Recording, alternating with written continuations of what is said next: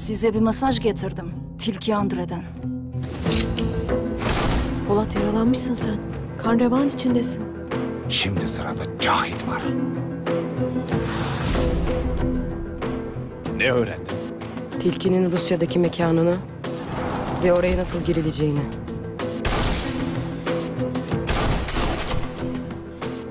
Hoş geldin Polat Alemdar.